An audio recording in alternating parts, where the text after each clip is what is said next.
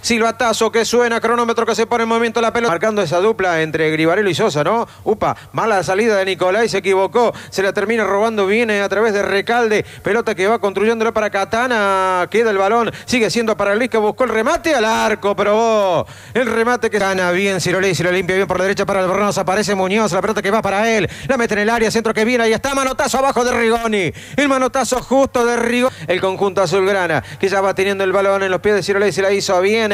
Cáceres buscó el espacio, sacó el remate. Por arriba de eso es el tiro libre. Jugándola para Cirolesi. Solo por la izquierda lo tiene Gijena, pero clave el freno de mano. Mete la pelota en el área. Está el cabezazo. Ira de Cáceres Internacional.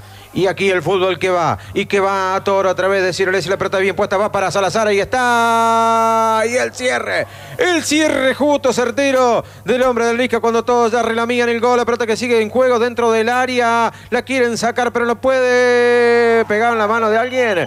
No pegaba en la mano de alguien. Sigue el juego. Le queda para Cirolesi. Le limpian bien ahora para Albornoz. Albornoz que quiere sacar el remate. Un rebote. Le queda la pelota ahí todavía. Y aparece Rigoni.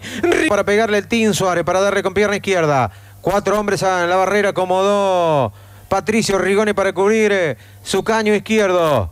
Le pegará el Team. Le pegó. Rigoni con los puños y el balón eh, que se va a ir al va con eh, largo el pelotazo. Bien para Cruzeiro, la pelota por la izquierda. Centro que viene al área y está Rigoni.